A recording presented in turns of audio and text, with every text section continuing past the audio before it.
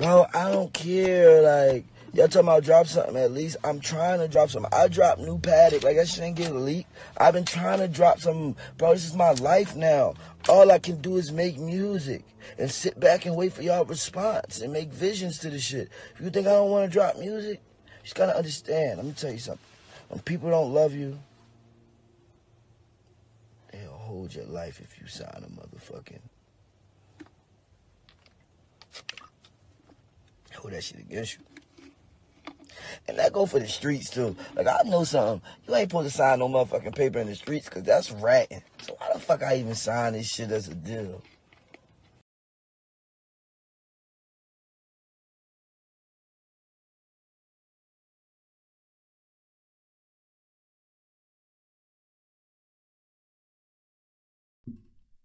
سلام بچه ها خوش اومدید به کانال من جوانی ویل. من نیمام و توی این سری از برنامه ها میریم سراغ صنعت موسیقی. اینکه چجوری این صنعت کار می‌کنه چجوری درآمدزایی داره و چجوری تا الان زنده مونده. از اونجایی که توی ایران درآمدزایی از موسیقی روز به روز داره بیشتر جا میفته من ته دلم حس می‌کنم که یک چنین صنعتی دیر یا زود به وجود میاد. و آرتیست هایی که تلاش دارن توی صنعت موسیقی فعالیت بکنن توی ایران باید با best practice ها و benchmark هایی تو کل دنیا اتفاق افتاده آشنا باشن تا بتونن موقعی که اون صنعت پا گرفت زنده بمونن توش و بتونن به مسیری که واسه خودشون درست کردن ادامه بدن. خب قبل از همه چی بریم سراغ این که آرتیست ها چجوری با label ها ارتباط برقرار می‌کنن. طبیعیه که آرتیست ها موقعی که شروع به فعالیت می‌کنن و هنوز هیچ جامعه مخاطبی ندارن سازمانی نمیاد که باهاشون قرارداد ببنده و روشون سرمایه گذاری بکنه. معمولا اون پروسه قرارداد بستن با آرتیست روی نقطه عطف صعود آرتیست شکل می‌گیره. موقعی که یه جامعه مخاطب نسبتا قابل توجهی و واسه خودش به وجود آورده و تونسته یه حد اقل درآمدهایی رو از هنرش برای خودش به وجود بیاره. توی این بازه زمانی label های مختلف میان سراغ آرتیست. بسته به ژانرش بسته به محلی که توش فعالیت می‌کنه و بسته به آدم هایی که دور آرتیست هستن. معمولا label های متفاوتی به سراغ آرتیست ها میان. مثلا label 300 تو حول و حوش trap معمولا کار می‌کنه. label چه می‌دونم Sub Pop حول و حوش grunge کار می‌کرد یه بازه زمانی. و label ها معمولا گرایش های خاص خودشون رو دارن و استعدادیابی هاشون رو توی یه sub ژانر مشخصی انجام میدن یا توی منطقه مشخصی منطقه فیزیکی مشخصی انجام میدن. خب حالا فرض می‌کنیم که یه آرتیست ایکسی وجود داره و label های مختلفی میان تا باهاش قرارداد ببندن. قرارداد جلوی آرتیست قرار می‌گیره و چندین ماده داره. به محض امضای اون قرارداد یه مبلغی که به عنوان advance بهش اشاره می‌کنن به آرتیست ارائه میشه که معمولا مبلغ کمی هم نیست. و اون advance تله‌ایه که باعث میشه آرتیست ها اشتباه امضا کردن قراردادهایی که به نفعشون نیست رو تکرار بکنن. معمولا آرتیستایی که دارن اولین قراردادشون با record label ها میبندن هنوز به پول خیلی زیادی نتونستن از هنرشون دست پیدا بکنن. چون اون advance اولیه مبلغ قابل توجهیه و آرتیست تو مواجهه با اون مبلغ و بدون فکر کردن با اینکه تو آینده چه منبعهای درآمدی می‌تونه خودش واسه خودش به وجود بیاره به سرعت اون قرارداد رو امضا می‌کنه. خب فرض می‌کنیم من به عنوان یه آرتیست یه قراردادی رو امضا کردم و یه میلیون دلار advance به من داده شده. یعنی موقعی که من قرارداد امضا می‌کنم مثلا برای 5 تا 8 تا آلبوم به طور default معمولا واسه آرتیست تازه کار. واسه این 5 تا آلبوم به من یه میلیون دلار داده شد. آرتیست اون یه میلیون دلار رو دریافت می‌کنن. ولی به محض دریافت اون یه میلیون دلار 20 درصد برای مدیر برنامه های آرتیست باید کنار گذاشته بشه 5 درصد برای وکیل و 5 درصد برای business manager artist. یعنی تا الان 300 هزار دلار کاملا از دست آرتیست رفته. بازم 700 هزار دلار میمونه مبلغ قابل توجهیه و آرتیست می‌تونه استفاده خیلی زیادی بکنه. بعد از این مرحله است که با مالیات مواجه میشیم. مالیات تو کشورهای مختلف قوانین مختلفی داره. توی آمریکا کسی که یه میلیون دلار advance دریافت بکنه یا پول یه جا دریافت بکنه توی همون سال موظف 48 درصد این مبلغ رو به عنوان مالیات به دولت ارائه بده. برای راحت تر کردن میکنیمش 50 درصد. و 500 هزار دلار هم اینجا میره. پس تا الان 30 درصد واسه manager وکیل و business manager رفت. 48 درصد واسه هزینه مالیات رفت. از اون طرف 20 هزار 200 هزار دلار واسه آرتیست باقی میمونه. این 200 هزار دلار پولیه که آرتیست به عنوان advance دریافت کرده. شاید اسماً یک میلیون دلار باشه ولی در اصل 200 هزار دلار دریافت کرده. این 200 هزار دلار می‌تونه هر جوری که می‌خواد هزینه بکنه و label که بازوهای مختلفی داره و می‌تونه با آرتیست کمک های زیادی بکنه استودیو session رو واسه آرتیست هماهنگ می‌کنه مشخص می‌کنه که آرتیست با چه producer ای کار بکنه اگه network آرتیست اونقدر قوی نیست و به طور کلی تا یه حدی creative control کار رو به دست می‌گیره. خب جلوتر که میریم می‌بینیم که آرتیست ها مجبور میشن اولین آلبومشون رو ببندن. بعد اینکه قرارداد رو بستن توی قرارداد چند تا single و چند تا آلبوم ذکر شده. و سراغ اولین آلبوم که میرن آرتیست ها یه هزینه ای می‌کنن label براشون می‌کنه تا آلبوم رو ضبط بکنن و آلبوم میاد بیرون پخش میشه. برای مثال فرض می‌کنیم label ی که رو من یه میلیون دلار سرمایه گذاری کرد و advance به من داد و این آلبوم رو تقدیمش کردم 5 میلیون دلار از این آلبوم درآمد داشته. یه درصد زیادی از این درآمد مستقیما واسه label کنار گذاشته میشه. خب حالا بریم ببینیم که این 5 میلیون دلار چجوری تقسیم میشه توی label. این 5 میلیون دلار برای label ارزش خیلی زیادی داره. اولین اتفاقی که میفته قبل از کاهش مالیات از مبلغ درآمد از آلبوم label کل هزینه های ضبط آلبوم رو از اون حاشیه سود کم می‌کنه. جدا از اون نصف هزینه تولید ویدیو و نصف هزینه promotion آلبوم رو هم مستقیما از حاشیه سود آلبوم کم می‌کنه. جدا از همه این مسائل که تا اینجا به نظر منطقی میاد یه سری اتفاق عجیب غریب میفته که از نسلهای گذشته توی صنعت موسیقی باقی مونده ولی متاسفانه هنوزم که هنوزه تصحیح نشده. توی دهه 80 90 تا الان مدیوم ها خیلی تغییر کردن. موزیک با دی واینیل صفحه گرامافون و به روش های مختلفی به دست مخاطب می‌رسید. توی اون بازه زمانی که نسخه فیزیکی باید ship می‌شد به جاهای مختلف توی دنیا و از طریق مغازه ها به فروش می‌رسید هزینه های مختلفی در نظر گرفته می‌شد. توی اون بازه زمانی 25 درصد هزینه بسته‌بندی از آرتیست گرفته می‌شد یعنی 25 درصد کل فروش آلبوم کل حاشیه سود آلبوم برای هزینه بسته‌بندی کنار گذاشته می‌شد. 10 درصد هزینه breakage به اصطلاح میگن تعبیه می‌شد. هزینه breakage به هزینه میگن که مثلا سیدی یا vinyl رو واسه یه مغازه میفرستیم. توی راه یه درصدی از اون vinyl ها صدمه می‌بینن و قابل فروش نیستن. و اون هزینه مستقیما از حاشیه سود آرتیست کم میشه. و جدا از همه این مسائل یه هزینه دیگه ای به نام uncompensated free goods از آرتیست دریافت می‌شد که اونم حدودش 10 درصد بود.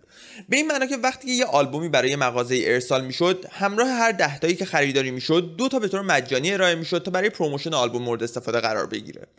و اون دوتا به عنوان حاشیه سود آلبوم حساب نمی‌شدن و به همین دلیل از حاشیه سود فروش کم میشن.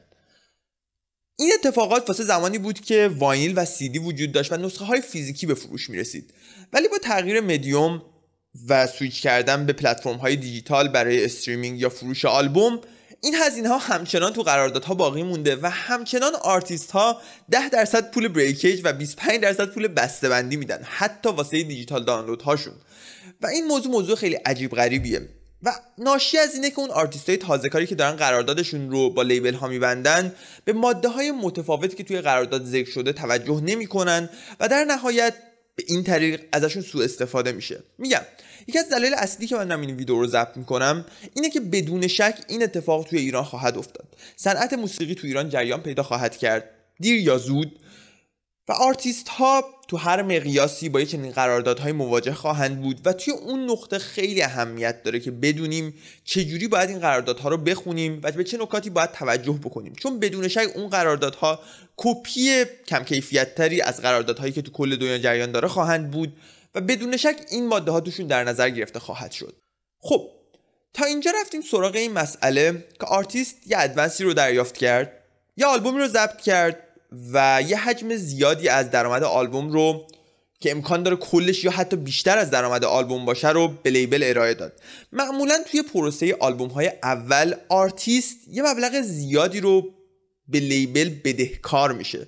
واسه اینکه هزینه promotion هزینه ویدیو و هزینه recording از حاشیه سود آلبوم های اول اون آرتیست بیشتر خواهد بود. و این موضوعیه که آرتیست رو توی اون قرارداد گیر میندازه. این قرض ها از یه آلبوم به آلبوم بعدی منتقل میشه و آرتیست واسه بیرون اومدن از اون قرارداد نه تنها باید مبلغ بازخرید رو پرداخت بکنه بلکه باید کلیه هزینه هایی که از آلبوم های قبلی باقی مونده رو هم به label برگردونه. و معمولا چون اون advance ی که اول ارائه شده تا این مدت واسه آرتیست باقی نمیمونه آرتیست توانایی این کار رو ندارن و مجبور میشن توی اون قرارداد باقی بمونن. حتی آرتیست های بزرگی مثل NBA YoungBoy که یکی از معروفترین آرتیست های حال حاضر تو کل دنیاست به این مشکل برخوردن و حتی حاضر بودن که 8 تا آلبوم مجانی به label شون ارائه بدن ولی master کارهاشون رو پس بگیرن و label با این موضوع موافقت نکرد. و NBA YoungBoy همچنان دستبند اون قرارداد تو دستاش قرار داره. خب تا اینجا با این موضوعات مواجه شدیم. آرتیستا تو اواخر دهه 90 اوایل دهه 2000 دیدن که این قراردادها و همکاری هاشون با label های موسیقی اونقدر که باید و شاید واسهشون درآمدزا نیست. و جنبش هایی مثل Roc-A-Fella Records رو داشتیم. Jay-Z، Dame Dash، Kareem Biggs یه label ی رو به وجود آوردن و تونستن با استفاده از اون promotion ی که label قبلیشون واسهشون انجام داده بود و شهرتی که از اون طریق به دست آورده بودن روی نقاط دیگه ای سرمایه گذاری بکنن از جمله استریت ور لباس پوشاک و وسایل دیجیتال و از اون طریق درآمد خیلی زیادی واسه خودشون به وجود بیارن. لیبل ها این موضوع مواجه شدن و دیدن که آرتیستا کم کم دارن به این فکر میفتن که منبع درآمد منبع های درآمدی متفاوت رو واسه خودشون به وجود بیارن.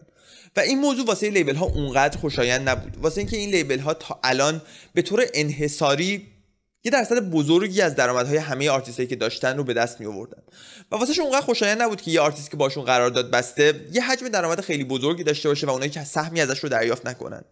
اینجا نقطه تولد قراردادهای 360 درجه رو می‌بینیم.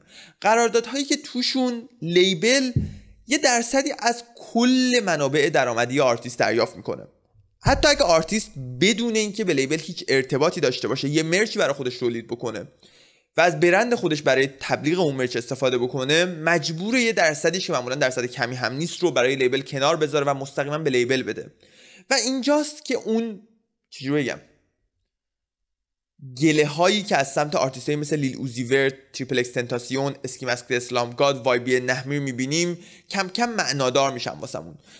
این آرتیست تا موقعی که داشتن آلبومشون رو تولید می‌کردن و label یه درصدی از درآمدش رو دریافت می‌کرد و خودشون یه درصدی رو دریافت می‌کردن همه چی واسهشون اوکی بود. صنعت موسیقیه و داشتن از این طریق شهرت بیشتری رو به دست می آوردن ولی به محض اینکه شهرتشون از یه سطحی گذشت و تلاش کردن تا منبع های درآمدی دیگه واسه خودشون به وجود بیارن با این موضوع مواجه شدن که مجبورن درصدی از اون منبع های درآمدی رو مستقیما با label به اشتراک بذارن و این موضوع واسهشون اونقدر خوشایند نبود و همه این آرتیستا تلاش کردن توی بازه های زمانی از قراردادشون خروج پیدا بکنن و خیلی هاشون نتونستن خیلی هاشون تونستن ولی در نهایت همشون تاوان خیلی سنگین رو پرداخت کردن واسه اون قراردادی که توی سن کمتر و با تجربه خیلی کمتر امضا کرده بودن. خب تا الان صحبت کردیم که label ها چجوری فعالیت می‌کنن و چجوری درآمد خیلی زیادی رو از آرتیست ها به دست میارن. نقطه مقابلش یه سری آرتیستن که این تله ها رو دیدن باهاشون مواجه شدن و راههایی واسه دور زدنشون به وجود آوردن.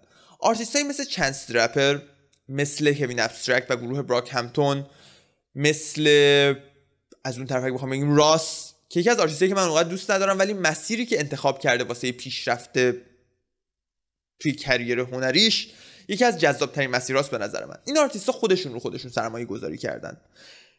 به جای اینکه صفر تا صد تولید آلبوم و پخشش رو به یه label واگذار بکنن و باهاشون قرارداد ببندن یه مبلغی رو دریافت بکنن و به جاش توی royalty ها با اون label شریک بشن این آرتیست ها تصمیم گرفتن خودشون هزینه recording هزینه distribution و هزینه promotion رو بر عهده بگیرن و با label های متفاوت و سازمان های مختلفی قرارداد ببندن برای مثال promotion رو به یه سازمان میسپرن به یه سازمان به یه شرکتی که تو حوزه marketing فعالیت می‌کنه میسپرن. distribution رو به یه بازوی مثلا شرکت یونیورسال میسپرن و هر کدوم از این ابعاد رو به طور برون سپاری خودشون handle می‌کنن و بعضا یه coordinator هایی رو استخدام می‌کنن تا بتونه توی اون studio session ها و handle کردن برنامه هاشون بهشون کمک بکنه. ولی در نهایت سودی که برای این آرتیست ها به همراه داره اینه که master ها به اسم خود این آرتیست ها خواهد بود و مالکیت معنوی تمام آثار هنری که تولید می‌کنن برای خودشون و فقط خودشون خواهد بود. و تا ابد هر درآمدی از اون آثار هنری به وجود بیاد مستقیما برای آرتیست کنار گذاشته خواهد شد و label ی سهمی از اون درآمد رو کسب نخواهد کرد. این بود نحوه همکاری label ها و آرتیست ها تله‌ای که اینجا وجود داره اینه که آرتیست ها اون پول نسبتا قابل توجهی که توی یه وعده بهشون به عنوان advance ارائه میشه رو می‌بینن توی تله اون پول میفتن و اون پتانسیل بلند مدت رو نادیده می‌گیرن. و این مسئله باعث میشه که اون label که به پایداری و درآمد بلند مدت داره فکر می‌کنه همیشه توی این فرایند برنده باشه. و با اینکه همه آرتیست های label ها موفق نخواهند بود ولی یه آرتیست موفق جور 20 آرتیست ناموفق رو توی label خواهد کشید. و اون هزینه و اون درآمدی که از یه آرتیست موفق دریافت میشه می‌تونه 20 آرتیست ناموفق رو جبران بکنه. خب وقتشه که یه نگاه جدیدی به label ها داشته باشیم. label ها یه سازمانن که توی حوزه entertainment فعالیت می‌کنن. ولی ذاتا چیزی بیشتر از یه شرکت لوجستیک نیستن. یه سری شرکتن که انحصار زنجیره تأمین و بازوهایی که دارن باعث شده که یه مزیت رقابتی خیلی بزرگ به دست بیارن و بتونن از اون مزیت رقابتی سوء استفاده بکنن و یه حجم زیادی از سوداوری آرتیست ها رو برای خودشون به همراه داشته باشن. ولی موضوعی که نادیده گرفته میشه اینه که با به وجود اومدن اینترنت و با آسون تر شدن برون سپاری هر کدوم از بخش های این زنجیره تامین آرتیست در حال حاضر می‌تونن با هزینه نسبتا کمی کل بخش های promotion، marketing و distribution کار رو خودشون به عهده بگیرن و اون مبلغ عجیب غریب زیادی که label ها دریافت می‌کنن برای این کارها رو به اونها ارائه ندن. و از یه هزینه های عجیب غریبی مثل هزینه breakage یا هزینه packaging واسه digital stream ها فاصله بگیرن. و به نظر من این اتفاق توی ایران هم خواهد افتاد. توی صنعت موسیقی ایران شرکت هایی به وجود خواهد اومد label هایی به وجود خواهد اومد و به این صورت از آرتیستا سوء استفاده خواهند کرد. این ویدیو داره ساخته میشه تا به یه سری آرتیست که تو آینده دور یا نزدیک با این label ها سر کار خواهند داشت یه درک کاملی از اتفاقهایی که توی صنعت موسیقی تو دنیا میفته ارائه بشه. توی ویدئوی بعدی میرم سراغ اینکه آرتیستایی که به جامعه مخاطب متوسط و کوچیکی تونستن دست پیدا بکنن چه جوری با اعمال کردن یه مجموعه فرایند می‌تونن جامعه مخاطبشون رو روز به روز بزرگ و بزرگتر بکنن و به جامعه آماری بزرگتری دسترسی پیدا بکنن؟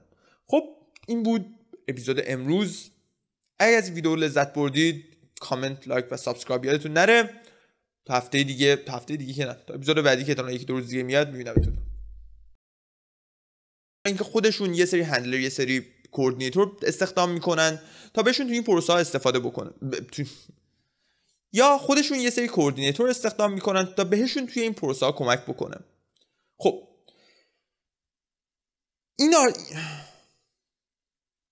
و دیگه لیبل این واسطه نیست که یه درصد زیادی از اون درآمد آلبوم رو به سمت و دیگه لیبل این واسطه نیست و دیگه لیبلی واسطه نیست که درصد زیادی از درآمدهای نه از